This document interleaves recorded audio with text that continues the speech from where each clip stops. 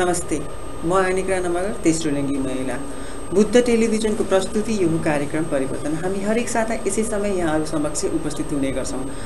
हामीले हरेक साता नयाँ नयाँ पाहुनालाई लिएर नयाँ नयाँ कुराकानी गर्ने जमर्को गर्दछौँ।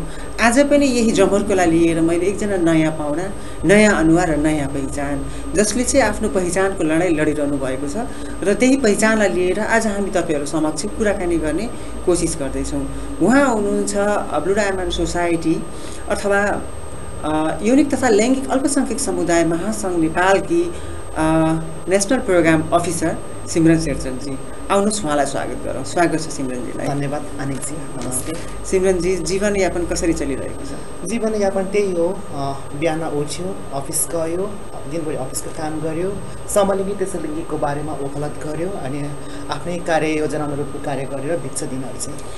एकचोटि सिमरनजीले आफ्नो बारेमा चाहिँ आम दर्शकलाई बताइदिनुहोस् होइन? सिमरनजी हिजो के हुनुहुन्थ्यो र आज के हुनुहुन्छ? सिमरन हिजो पनि सिमरन थियो आज पनि सिमरन छ। तर पनि समाजले हिजो मलाई नवीन भनेर चिन्थ्यो र आज सिमरन भनेर चिन्छ। अर्थात् म हिजो छोरा भएर जन्मेपछिको कोखबाट र हुर्कने बढ्ने क्रममा मैले आफ्नो सामाजिक पहिचान छोरीको बनाएँ। र त्यही हो फरक। हिजो नवीन भनेर मेरो केही सर्टन मान्छेले चिन्थ्यो भने आज चाहिँ मलाई सिमरन भनेर चिन्छ। भनेपछि नवीनदेखि सिमरनको पाइला चाहिँ एकदम कठिनाइ र दुःखद पनि थियो होला। हजुर एकदमै। अब त्यो बेला जतिखेर मेरो अब भनौँ म जस्तो कयौँ त्यसलिङ्गी साथीहरू हुर्कने बढ्ने क्रममा जतिखेर हामी हुर्किने क्रम थियो त्यतिखेर चाहिँ समलिङ्गी त्यसलिङ्गीको बारेमा त्यति खुलेर कुरा गरिँदैन थियो। समलिङ्गी भनौँ अर्थात् समलिङ्गी त्यसलिङ्गीको बारेमा कुरै हुन्थेन चर्चै हुन्थेन थाहा पनि थिएन यो विषय कौतुलताको विषय थियो। तर त्यो बेलामा चाहिँ अब हुर्कने बढ्ने क्रममा चाहिँ म छोरा भएर जन्मिए तापनि मलाई छोरीको जस्तो अनुभूतिहरू आउँथ्यो। छोरीको जस्तै चाल चलन गर्न मन लाग्थ्यो। मनमा त्यस्तै किसिमको भावनाहरू आउँथ्यो र त्यतिखेर चाहिँ लाग्थ्यो कि म मात्र एक्लो छु कि यो संसारमा यस्तो फिलिङ्स आउने ताकि एउटा छोरा भएर जन्म्यो। छोराको व्यवहार नभइकन किन मलाई छोरीको फिलिङ्सहरू आउँछ भन्ने एउटा कौतुलता हुन्थ्यो अनि त्यो कौतुलता साथसाथै डिप्रेसन जस्तो पनि हुन्थ्यो किनभने आफू कसैलाई पनि भन्न सक्ने थिएन अवस्था थिएन न फ्यामिलीलाई न साथीलाई न वरिपरिको सर्कलको मान्छेहरूलाई। सो त्यो बेला चाहिँ टाइम चाहिँ एकदम कष्टकर नै थियो। आफ्नो पहिचानसँग पहिचान भन्दा पनि आफू को हो भन्ने कुरासँग चाहिँ लडेको अवस्था थियो। एकदमै त्यो घडी चाहिँ हामीले सम्झिँदा पनि आत्मा भरिएर आउँछ होइन? त्यो जीवन तपाईँले पनि भोग्नुभयो मैले पनि भोगिरहेँ होइन? अनि सिमरनजी आफ्नो पहिचान त एका ठाउँमा एक एकातिर थियो भने अर्कोतिर यहाँ अहिले आफू एउटा राष्ट्रिय प्रोग्राम कोअर्डिनेटरको रूपमा कार्यरत पनि हुनुहुन्छ एफएजिएमएन अथवा युनिक तथा लैङ्गिक अल्पसङ्ख्यक समुदायहरूको महासङ्घ भनेर हामी चिन्ने गर्छौँ होइन? यो महासङ्घले चाहिँ खास के काम गर्छ? महासङ्घको स्थापना दुई हजार सात सालमा भएको हो। र महासङ्घको स्थापना चाहिँ अब जतिखेर एलजिबिटिआईको मुभमेन्ट सुरु भयो टु थाउजन्ड वानमा र टु थाउजन्ड वानदेखि टु थाउजन्ड सेभेनसम्म आउँदाखेरि चाहिँ एलजिबिटिआईको क्षेत्रमा काम गर्ने संस्थाहरूको विस्तार भयो पूर्व मेचीदेखि पश्चिम महाकालीसम्म। र त्यति नै खेर चाहिँ अब एकले थुकी सुकी सयले थुकी नदी भने जस्तै अब अब एलजिबिटिआईको आवाजलाई मुद्दालाई चाहिँ एकै टुक्कासँग लानुपर्छ भनेर महासङ्घको स्थापना भएको दुई हजार सात सालमा। र महासङ्घले चाहिँ अब समलिङ्गी तेस्रोलिङ्गी तथा जति पनि हाम्रो संस्थाहरू छ महासङ्घमा आबद्ध भएको उनीहरूको क्षमता अभिवृद्धि र सञ्जाल विस्तारको क्षेत्रमा चाहिँ काम गर्छ। एकदमै राम्रो कुरा गर्नुभयो। मेची पूर्वको मेचीदेखि पश्चिमको महाकालीसम्म महासङ्घले चाहिँ समेट्ने कोसिस गरेको छ र गर्दै पनि छ। भनेपछि अहिले हामीसँग युनिक तथा लैङ्गिक अल्पसङ्ख्यक समुदायसँग आबद्ध भएर कार्यरत भइरहेका जति पनि सङ्घ संस्था छन् कतिवटा सङ्घ संस्था चाहिँ हाम्रो यो छाता सङ्गठनमा आएर दर्ता भएका छन्? छाता सङ्गठनमा चाहिँ अहिले चाहिँ चालिसवटा संस्थाहरू आबद्ध छन् कानुनी रूपमा र त्यो सङ्ख्या अब सायद यो वर्ष केही अझै वृद्धि हुन्छ भन्ने हामी अनुमान लिएका छौँ। भनेपछि अब सिमरनजी आफै पनि एउटा तेस्रो लिङ्गी समुदायबाटै बिलङ गर्नुहुन्छ होइन र तेस्रो लिङ्गी समुदायकै लागि काम पनि गरिरहनु भएको छ। नेपालमा तेस्रो लिङ्गीहरूको अवस्था कस्तो छ? अब नेपालमा तेस्रोलिङ्गीको अवस्था हिजोको भन्दा हिजोको दिनभन्दा अलिकति फरक छ। मान्छेले हामीलाई एक्सेप्ट गर्ने त्यो प्रतिशतको हिसाबमा पनि अलिकति बढ्दछ अहिले तपाईँ र म यहाँ छु यो पनि हाम्रो एउटा एउटा हामीलाई एक्सेप्टेन्सको एउटा उदाहरण हो। र जति हुन पनि त्यति भएको छैन तर पहिलाको तुलनामा चाहिँ अलिक केही बेसी हामीलाई एक्सेप्टेन्सको लेभल चाहिँ बढेको छ। अझै मुख्य कुरा चाहिँ अब यो तेस्रोलिङ्गी समलिङ्गीको बारेमा नेपालको मूल संविधानमा पनि हामी हामीहरूको बारेमा उल्लेख गरिसकेको अवस्था छ। अब समाज परिवर्तनको क्रम जारी नै छ। कानुनी परिवर्तन त अब भइसक्यो भन्न पनि हुन्छ।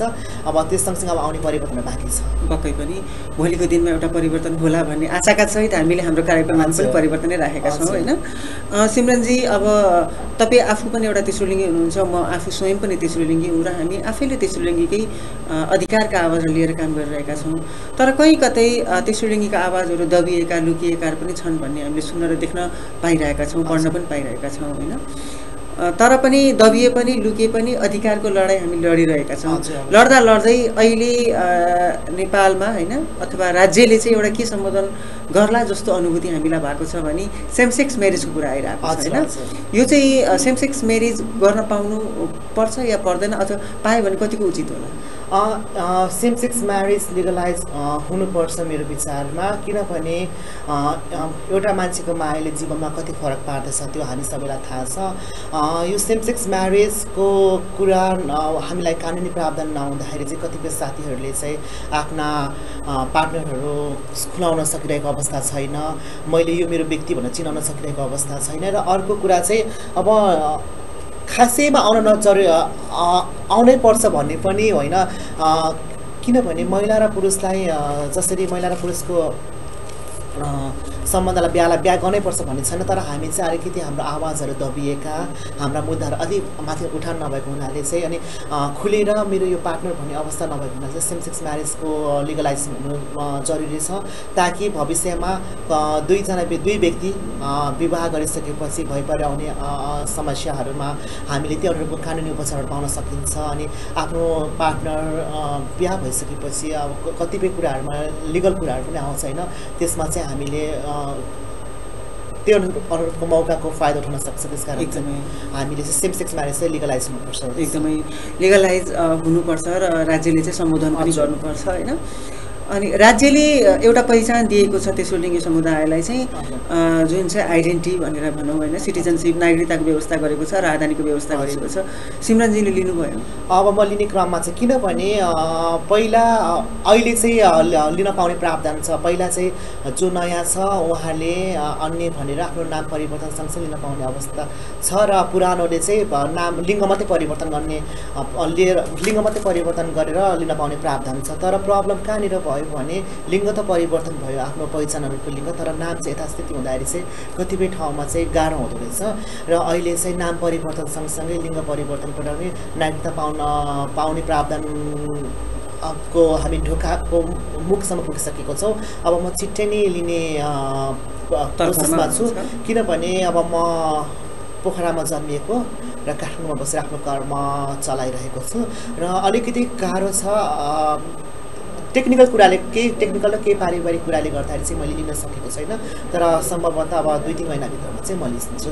एउटा अब मेरो जिज्ञासा भनौँ अथवा। आम दर्शक जसले चाहिँ अहिले हामीलाई हेरेर बसिरहनु भएको छ बुद्ध टेलिभिजन हेरेर बसिरहनु भएको छ होइन? उहाँहरूको एउटा जिज्ञासा धेरै मलाई आउँछ होइन? तेस्रो लिङ्गी समुदायको विवाह हुन्छ या हुँदैन भनेर होइन? अनि म अहिले सिमरनजीलाई एउटा प्रश्न गर्न मन लाग्यो यहाँ विवाहिता या अविवाहिता?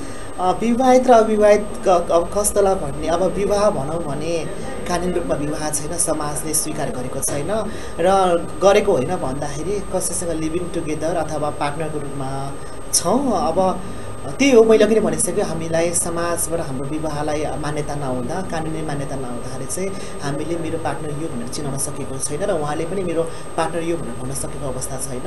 तर माया कसैलाई गरेको छ र माया कसैको पाइरहेको छु? एकदमै खुसीको कुरा होइन? माया पाउनु नै ठुलो कुरा हो। किनभने आफ्नो परिवारले र समाजले अहिलेसम्म नस्वीकारेको अवस्थामा कोहीबाट आत्मीय आत्मीयको आत्मीयताको हिसाबले माया पाउनु नै हाम्रो लागि गर्वको विषय हुन्छ। सिमरनजी अलिकति एउटा ब्याकग्राउन्डतिर जाउँ हामी। होइन? अब अहिले चुनावको माहौल पनि चलिरहेको छ। देशमा होइन? घर घरमा चुनाव आइसकेको छ। सुन्न पढ्ने पाइयो देख्न पनि पाइयो पढ्न पनि पाइयो र समाचार हेर्न पनि पाइयो होइन? तेस्रो लिङ्गी समुदायबाट समानुपातिक उम्मेदवार भनेर अहिले हाम्रो पिङ्की गुरुङजी भन्ने उठ्नु भएको छ उहाँ उठिरहँदा अहिले चाहिँ राज्यले अथवा आम जनताले चाहिँ कस्तो खालको सम्बोधन गर्यो होला पक्कै पनि यो हाम्रो लागि गर्वको विषय हो। सायद सम्भवतः यो दक्षिण एसियामा पनि उदाहरण नै हो। दक्षिण एसियामा नभइकन विश्वमा पनि उदाहरण भन्न चाहन्छु। पिङ्कीजी उठ्नु भएको छ पिङ्कीजी समानुपातिकमा उठ्नु भएको छ। उहाँलाई हाम्रो समुदाय लगायत तपाईँ सम्पूर्ण दर्शक महानुभावको पनि समर्थन चाहिएको छ। किनभने हिजोसम्म राज्यले सम्बोधन नगरेको टपिक्सलाई आज हामी देशको एउटा चुनावी माहौलबाट समानुपातिकमा हाम्रो पिङ्की मम्मी उठ्नु भएको छ। पिङ्की मम्मी नै भन्छु किनभने हाम्रो अध्यक्ष हुनुहुन्छ। उहाँकै अ, पथ प्रदर्शन हामीले पछ्याएर हामी अगाडि बढिरहेको छौँ। उहाँहरू नै हाम्रो मोटिभेट हुनुहुन्छ र उहाँलाई सपोर्ट गर्नको लागि चाहिँ हामी चुक्दैनौँ र तपाईँहरूको सहयोग पनि चाहिन्छ। किनभने हामीले धेरैको प्रति नेतृत्व गरेको हामीले देख्यौँ होइन? अब त्यसो लिङ्गीलाई पनि नेतृत्व गर्ने एउटा मौका दिनुहोस्। उहाँले पनि केही परिवर्तन गरेर देखाउनेछ। पक्कै पनि। होइन? महिलालाई पनि हेऱ्यौँ पुरुषलाई पनि हेऱ्यौँ। एकपटक तेस्रो लिङ्गीलाई चाहिँ भोट दिएर जिताएर संसदसम्म पुर्याउने कोसिस चाहिँ जारी राखौँ। हजुर। भोलिको दिनमा परिवर्तन त्यसरी आउला। तेस्रो लिङ्गी संसदमा तेस्रो लिङ्गीहरू नै होइन? तेस्रो लिङ्गी पिङ्की गुरुङजी नै संसदमा प्रतिनिधित्व गर्नुपर्छ चाहिँ किन होला? किन भन्दाखेरि कतिपय अझै पनि कतिपय मान्छेहरूले हाम्रो इस्युलाई बुझेको छैन। आफ्नो इस्युलाई आफूले जति बुझाउन सकिन्छ जति बोल्न सकिन्छ त्यति इस्यु अरूले बुझाउन सक्दैन र बोल्दा पनि बोल्दैन। र त्यो प्रतिनिधि सभा जहाँ हो जहाँ चाहिँ हाम्रो इस्युजहरू प्रत्यक्ष रूपमा उहाँले राख्न सक्नुहुन्छ आफ्नो भनाइहरू व्यक्त गर्न सक्नुहुन्छ। समुदायको कुराहरू त्यहाँसम्म पुऱ्याउन सक्नुहुन्छ। त्यसकारण चाहिँ उहाँको प्रतिनिधि त्यहाँ हुनु आवश्यक छ। एकदमै होइन। किनभने सिमरनजीको व्यथा सिमरनजीलाई थाहा छ आनिकको व्यथा आनिकलाई थाहा छ भने जस्तो होल समुदाय जुन एलजिबिटिआई कम्युनिटी भन्छ त्यो कमिटीको व्यथा पिङ्कीजीलाई बुझ्नु भएको छ। त्यसैले संसदमा पुग्नु आवश्यक पनि छ। सिमरनजी काम गर्ने सिलसिलामा चाहिँ देश विदेशको यात्रा पनि गरिरहनुहुन्छ होइन? अस्ति भर्खर मात्रै अब चाइना पनि पुगेर आइसक्नुभयो यहाँ चाहिँ। तेस्रो लिङ्गी सम्मेलनै थियो कि यहाँनिर तेस्रो लिङ्गी सम्मेलन सम्मेलन भन्दा पनि त्यहाँको तेस्रो लिङ्गी समुदायलाई एउटा इम्पावर गर्नको लागि चाहिँ उहाँले चाहिँ केसपुरमा बोलाउनु भएको थियो। कुरा अब अब नेपालमा मात्र होइन संसारको जुन सिकुनामा पनि स्टिल ट्रान्सजेन्डर हामी तेस्रो लिङ्गीहरूको अवस्था अलिकति नाजुक नै छ किनभने पहिचानको लडाइँ लड्दाखेरि परिवारसँग लड्नुपर्छ समाजसँग लड्नुपर्छ र राज्यसँग लड्नुपर्छ। कतिपय ठाउँमा एक्सेप्टेन्स छ कतिपय ठाउँमा छैन र एक्सेप्टेन्स नहुँदा आफ्नो विचारहरू आफ्नो भावनाहरू कुटित गरेर बस्नु पर्दाखेरि त्यस्तो किसिमको डिप्रेसन हुन्छ अनि चाइनामा म गएँ त्यहाँ पनि अब एलजिबिटिआईको मुभमेन्ट सुरु नभएको होइन तर पनि समाजको त्यो कन्जर्भेटिभ रूढिवादी सोच अनि त्यो किसिमको आफूलाई के भन्छ त्यसलाई एक्सेप्टेन्स गर्ने त्यो त्यहाँसम्म लेभल नपुगेको हुँदाखेरि चाहिँ त्यहाँको हाम्रो तेस्रोलिङ्गी दिदीबहिनीहरूको अवस्था चाहिँ अलिकति के भनौँ मैले अलिक अलिक दबिएर बसेको। अवस्था पाएँ र उहाँहरूले चाहिँ अब नेपालको मुभमेन्ट कसरी सुरु भयो र तपाईँ व्यक्तिगत रूपमा कसरी मुभमेन्टमा लाग्नुभयो भनेर उहाँहरूलाई चाहिँ एउटा मोटिभेट रूपमा चाहिँ म गएको थियो र मेरो बसाइ त्यहाँको एकदम राम्रो नै भयो। उहाँहरूलाई चाहिँ मैले मेरो व्यक्तिगत लडाइँ सँगसँगै ब्लु डायमन्ड सोसाइटीले कसरी लडाइँ लडेको कुरा थियो भन्ने कुराहरूको भन्दाखेरि चाहिँ उहाँहरू अझै मोटिभेट भएको मैले पाएँ। हेरौँ भविष्यमा उहाँहरूको यो मेरो भन मेरो भनाइले मेरो विचारले उहाँलाई कतिसम्म प्रभाव पार्यो त्यो चाहिँ अब हेर्न बाँकी नै छ। यसको लागि तपाईँलाई बधाई सँगसँगै शुभकामना पनि। सिमरनजी अनि यसरी हामीले काम गरिरहँदा अथवा हजुरहरूले होइन एउटा छात्र सङ्गठनकै रूपमा काम गरिरहँदाखेरि त विविध रिपोर्टिङहरू गरिरहनु पर्ने हुन्छ अथवा विविध समाचारहरू सङ्कलन गर्नु पनि पर्ने हुन्छ होइन। त्यो हिसाबले चाहिँ साउथ एसियामा यौनिक तथा लैङ्गिक अल्पसङ्ख्यक समुदायको अवस्था कस्तो छ साउथ एसियामै? साउथ एसियामा कुनै अब नेपालको तुलनामा नेपालको कुरा गर्नुपर्दा नेपाल दक्षिण एसियामा उदाहरणीय देश हो हाम्रो संविधानमा हाम्रो कुराहरू उल्लेख गरिसकेको अवस्था छ। कतिपय कुराहरूमा परिवर्तन आइसकेको छ कागज कुराहरूमा परिवर्तन आइसकेको छ। र हाम्रो छिमेकी मुलुकहरूमा पनि केही कुराहरूमा परिवर्तन आइसकेको छ। र स्टिल केही मुलुकहरूमा अझै पनि त्यसो लिङ्गी समलिङ्गीहरूलाई चाहिँ अलिकति खानिने प्रावधानहरू छ होइन? अवस्था ठाउँ परिवेश अनुसार फरक फरक छ। पक्कै पनि जस्तो देश उस्तै भेष भनिन्छ होइन? नेपालमा चाहिँ केही हद चेन्ज भएको छ भने अझै पनि जस्तै इन भारत र पाकिस्तान बङ्गलादेशमा चाहिँ अझै पनि अलिकति। परिवर्तन भएको भइसकेको अवस्था चाहिँ छैन। अनि सिमरनजी त अब छातै सङ्गठनमा फेरि म त्यहीँतिर जोड्न चाहे। छाता सङ्गठनसँगै आफै आबद्ध भएर काम गर्नुभएको छ। डोनरसँग डाइरेक्ट लिङ्क राख्नुहुन्छ होइन? डोनरहरूले ब्लु डायमन्ड सोसाइटी अथवा एफएसजिएमएन अथवा तेस्रो लिङ्गी यौनिक तथा लैङ्गिक अल्पसङ्ख्यक समुदायलाई चाहिँ कस्तो तरिकाले हेरेको छ अथवा प्रोग्राम दिने नदिने प्रोजेक्ट आउने नआउने कस्तो खालको बिहेभ अ, पक्कै पनि केही केही हदसम्म हाम्रो दार्जिलिङ निकायबाट डोनरहरूबाट हाम्रो स सहयोगहरू घट्दैछ तर पनि डोनरले जुन हामीलाई एउटा विश्वास गरेर जति पनि फन्डहरू दिएको छ होइन परिचालन गर्नको लागि त्यसको प्रतिफलबाट उहाँहरू चाहिँ एकदम खुसी भएको हामीले पाएको छ र उदाहरण पनि थुप्रै छ होइन।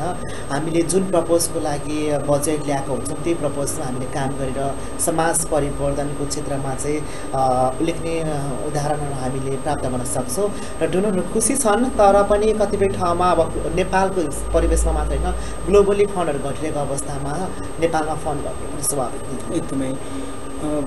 तर आशा गरौँ भोलिको दिनमा चाहिँ हाम्रो चाहिँ फन्ड चाहिँ नघटोस्। निरन्तरता पाइरहोस्। किनभने अल्पसङ्ख्यक यौनिक तथा लैङ्गिक अल्पसङ्ख्यक समुदायले चाहिँ रोजगार पाउने अन्त कतै ठाउँ छैन हजुर त्यसको लागि अब हामीले नेपाल सरकारले पनि बुझिदिनुपर्छ किनभने त्यहाँ महिलालाई कोटा छ पुरुषलाई कोटा छ अब संविधानमा लेखिसकेको कुरा छ फेरि पनि म दोहोऱ्याउन चाहन्छु संविधानमा लेखिसकेको कुरा छ त्यहाँ हामीलाई इक्वालिटीको कुरा भनेर सम्बोधन गरिसकेको छ अब महिला र पुरुषलाई जति हामीले जति सरकारले व्यवस्था गरेको छ अब तेस्रो लिङ्गीलाई पनि व्यवस्था हुनुपर्छ भन्ने मेरो मान्यता अब यसको व्यवस्था भन्नु व्यवस्थाको अर्थ यो होइन कि हामीलाई छुट्टै राज्य छुट्टै समाज छुट्टै कोटा होइन कि जसरी महिला र पुरुषलाई जुन अवसर दिएको छ लिङ्गी समुदायलाई पनि अवसर दिनुपर्छ भन्ने एकदमै कोटाको आरक्षण पनि गरिनु पऱ्यो। होइन?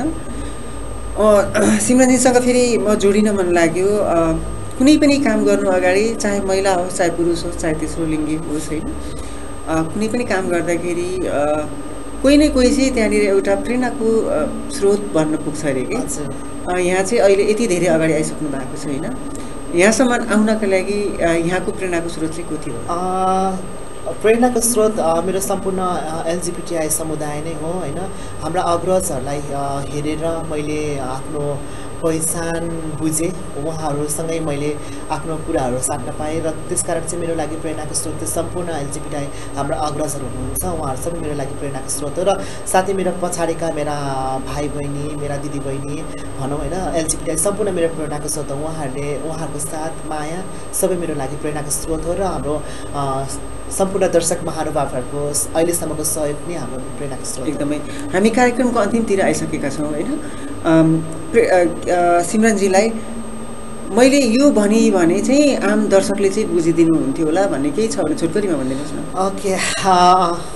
जहिले पनि के भन्छ भन्न मन लागेको कुराहरू छुट्दाखेरि चाहिँ अलिकति उस हुन्छ म दर्शक महानुभावहरूलाई के भन्न चाहन्छु भन्दाखेरि हामी पनि प्राकृतिक हौँ हामी पनि तपाईँहरूकै सन्तान छोराछोरी जस्तै एउटा सन्तान हो। हामीलाई तपाईँहरूको मायाको अति नै आवश्यक छ होइन? तपाईँहरूको मायाले कति फरक पार्दछ? एउटा छोरालाई जुन माया दिन्छ छोरीलाई त्यो नदिँदा छोरीको बौद्धिक विकास कस्तो हुन्छ?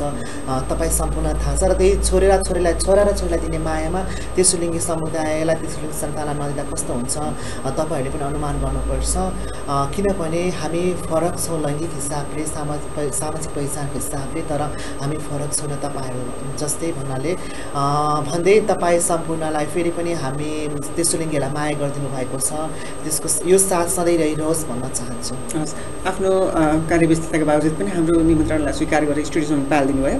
त्यसका लागि म लगायत बुद्ध टेलिभिजनको परिवारको तर्फबाट चाहिँ हजुरलाई धेरै धेरै धन्यवाद। तपाईँलाई पनि र तपाईँ सम्पूर्ण बुद्ध परिवारलाई पनि धेरै धेरै धन्यवाद। हस् त आजको निर्धारित समय सकिसकेको छ। तपाईँलाई हाम्रो कार्यक्रम कस्तो लाग्छ पत्रचार गर्न नभुल्नुहोला। हामीलाई तपाईँहरूले W W dot Buddha TV dot NP dot OR dot ORG dot NP मार्फत पनि फलो गर्न सक्नुहुन्छ अथवा युट्युब मार्फत पनि फलोअप गर्न सक्नुहुन्छ।